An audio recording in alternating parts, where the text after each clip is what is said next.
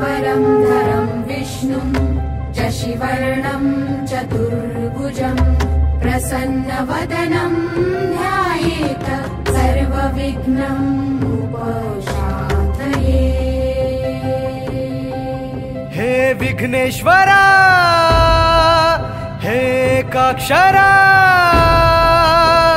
गजाननेति मृत्युञ्जया।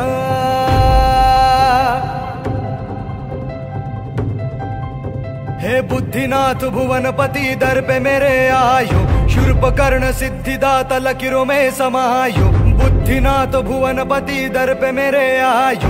दर पे मेरे आयो, लकीरों में समायो।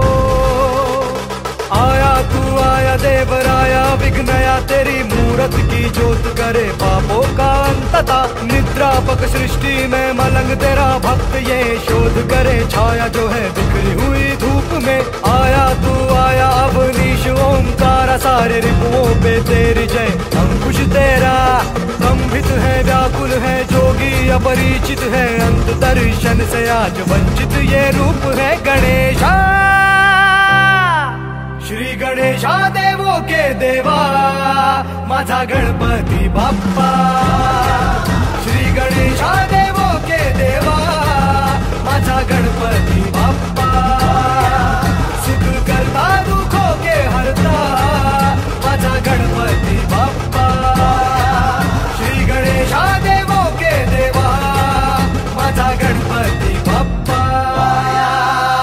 मुंबई में गणेश आगमन।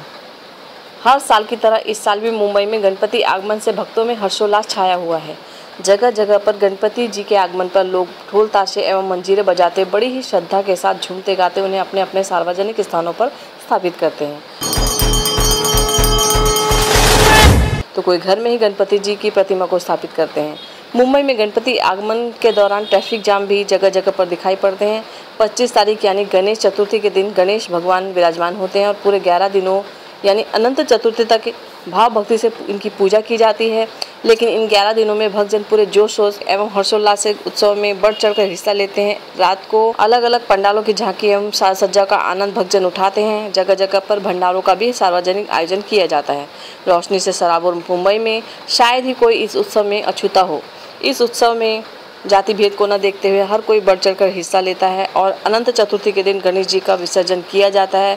इसके बाद वापस अगले साल बप्पा से वापस आने के जय घोष के साथ उन्हें किसी तालाब या समुद्र में अंतिम विदाई दी जाती है।